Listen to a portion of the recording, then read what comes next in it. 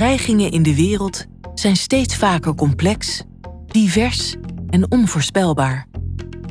Samen met technologische ontwikkelingen maakt dit Nederland kwetsbaar. Alleen door samenwerking kunnen we ons beter beschermen tegen dreigingen. Militaire operaties in Nederland behoren tot een van de drie hoofdtaken van Defensie.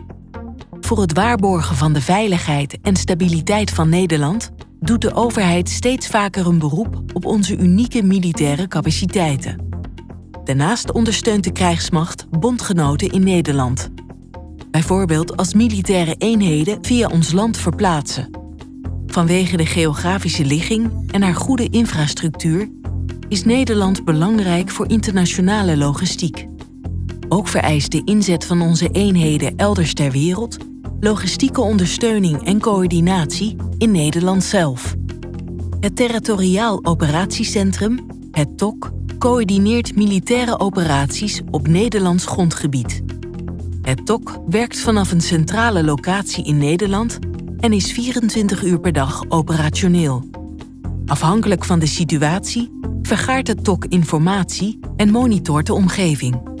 Zodra het nodig is, gaat dat echter over in het plannen, coördineren en aansturen van militaire eenheden in Nederland.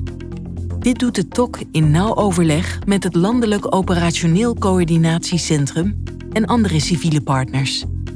Het TOC is flexibel en is ingericht om op elke situatie te kunnen inspelen.